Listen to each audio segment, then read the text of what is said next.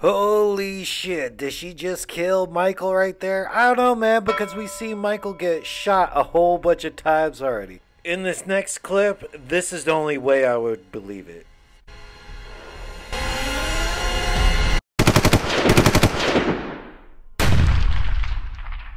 For reals, at this point, you have to shoot Michael with a machine gun or a bazooka or something like that, because he's been shot before plenty of times. Like in Halloween 2, even Laurie shot him both times, like in the eyes, then that didn't do him in. So, what luck does she have right here? I think everybody's focusing on the wrong thing because just this one shot, people are losing their minds. Like, what? Michael has his fingers back. They're supposed to be blown off. So let's get into the most popular theories. That's a copycat. So someone's actually wearing a Michael Myers mask and imitate Michael trying to kill Laurie on Halloween. His fingers, they actually grew back. Oh man, it's confirmed Michael is superhuman, like Wolverine, grows stuff back. He's like mutants are in the Halloween universe, Haddonfield.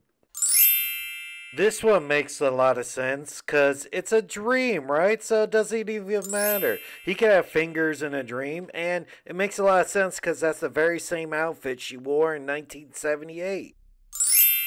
Here's a theory it's for her book, Boom, right? Makes a lot of sense, right? She's filming a TV ad for her book, and that's why there's like Halloween decorations up in her house. That's why her hair is so blonde, and that's why it doesn't even look like Laurie's original house. It's all movie magic, man, you know? She's just trying to make that money. Here's one of my absolute favorite theories, dude. What if that person's not a copycat, but put on the mask and is just pranking Laurie on Halloween? We're actually gonna be pranking Laurie Strode today. We're going to sneak inside her house wearing a Michael Myers mask. It's been a couple of years since that whole incident with Michael Myers, and she's gonna freak out.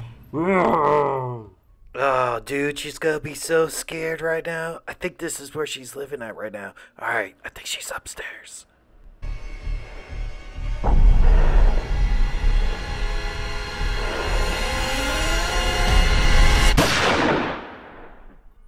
Ah, damn, Laurie. Ah, I was just breaking you and everything. Oh.